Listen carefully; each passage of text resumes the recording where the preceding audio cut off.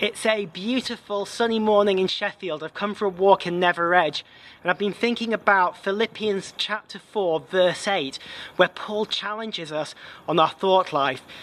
He says this, finally brothers, Whatever is true, whatever is honourable, whatever is just, whatever is pure, whatever is lovely, whatever is commendable, if there is anything excellent, if there is anything worthy of praise, think about these things.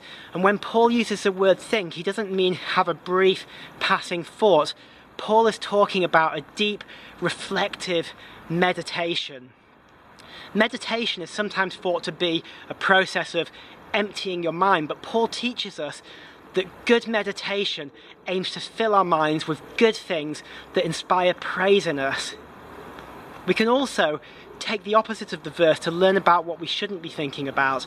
If Paul had told us what not to think about, the verse would sound like this Finally, brothers, whatever is false, whatever is dishonourable, whatever is unjust, whatever is impure, whatever is horrible, whatever is scandalous, if there is anything detestable, if there is anything worthy of disdain, don't think about these things.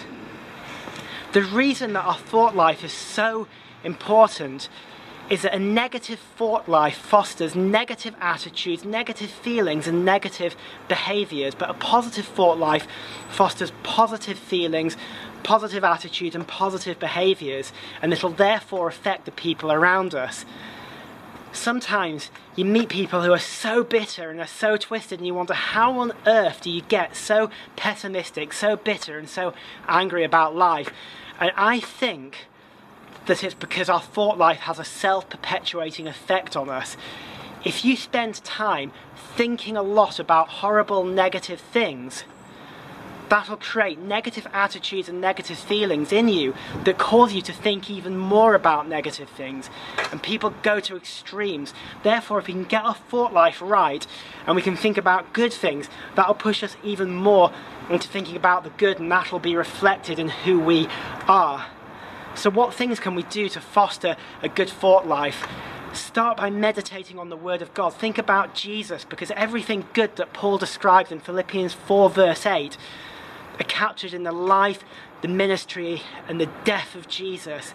Meditate on Him, meditate on His words, His teachings, His life, His example, His death. Spend time with people that inspire you, spend time with people that encourage you, spend time with people that drive you on in the faith. Read the biographies of faithful men and women of God. Avoid gossips and keep focusing on the good because it will make a difference in your life.